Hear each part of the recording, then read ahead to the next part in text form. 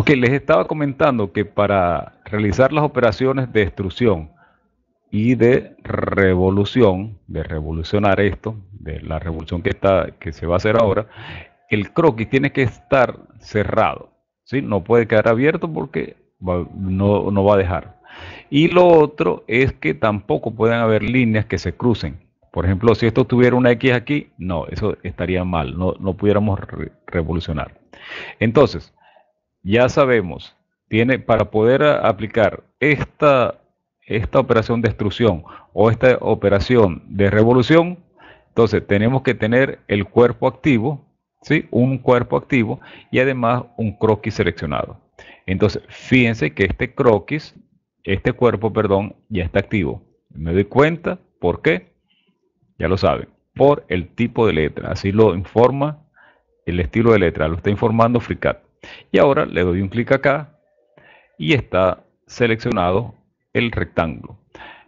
Ok, vamos a, mire, fíjense, este rectángulo, estoy utilizando esto para apoyarme, ¿sí? Para que veamos por dónde voy a rotar. Lo voy a rotar por según el eje Z.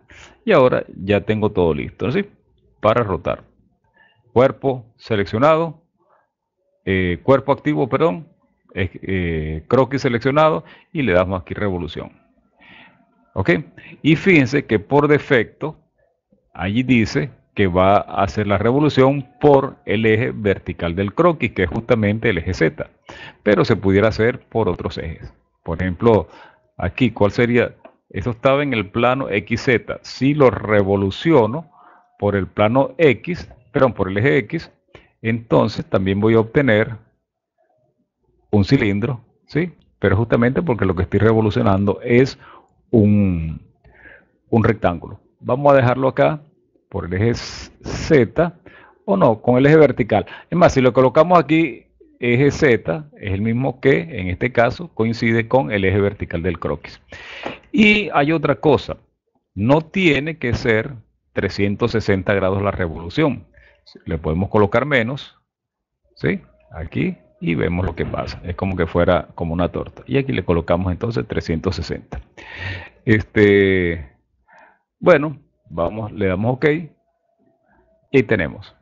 Yo le voy a dar doble clic aquí y ya tengo entonces un cilindro, ¿sí? que lo creé por la extrusión, un cubo también por extrusión y un cilindro que lo creé por rotación. Fíjense que aquí van a estar el cilindro, los dos cilindros, primero acá, los dos cilindros ocupan el mismo espacio, ¿sí? Están iguales. Entonces, vamos a hacer una cosa, para ir cerrando esto, este, este, esta clase, yo voy a mover este de acá.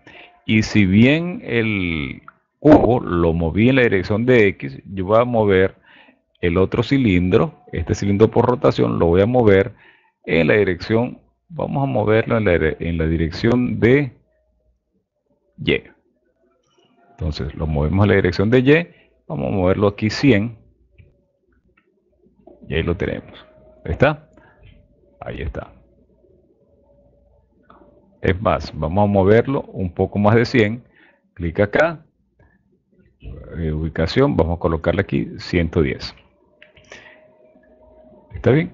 Y ahora estos ejes los voy a desaparecer y vamos a verlo esto por ejemplo desde desde el desde digo lo que lo que para nosotros para África sería lo desde arriba la vista desde arriba sería esto.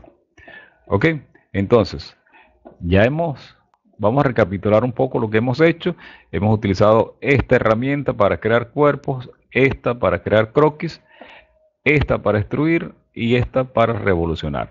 Pero además hemos modificado las propiedades del cuerpo Vamos a, cambiar otra cosa acá.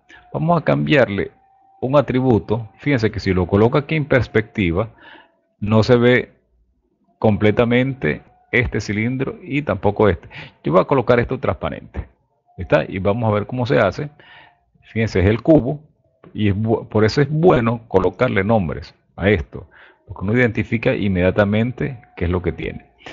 Este, si no le hubiera cambiado los nombres, aquí dijera body, aquí dijera body 001, aquí dijera body 002. Entonces así no es tan fácil. Bueno, vamos a hacer eso en la siguiente clase, en el siguiente video. Entonces, eh, la invitación que ya les he hecho cada vez a que se suscriban a mis canales de YouTube y de Odyssey y que compartan esto y que le den like si les ha gustado. Saludos.